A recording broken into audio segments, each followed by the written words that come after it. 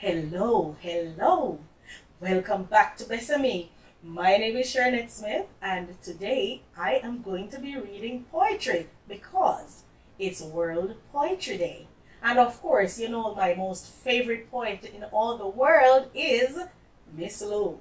So I will be reading you a poem by Miss Lou called Kas Kas.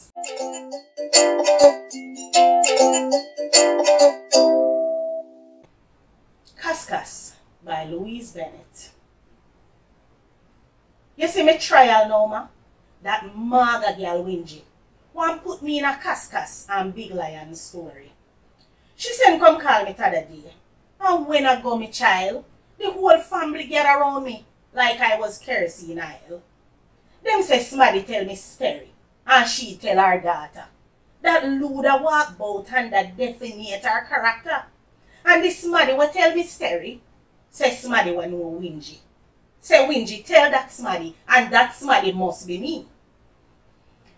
When them start with chat, you see ma, I'm glad I wasn't idle.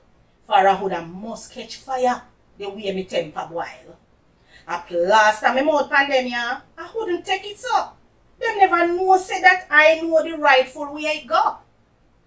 I hear say, GN say, I must say, that hear me say that so. Tell somebody that Miss Matty say, she hear say Sam beat low. Me uncle whisper it tell Fran, and she go fast tell Joe. Him tell that and she pinch tell Vi. And Vi go tell back so. Then Sue ask Matty, and you know the size of her mouth. She called for Wingy name, and then the whole story broke out. But Lou says Sam don't beat her. He go fling a stone, and it make mistake so liquor and broke her collarbone.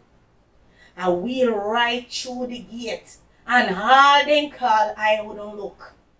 I do business with them kaskas, for my life is open book.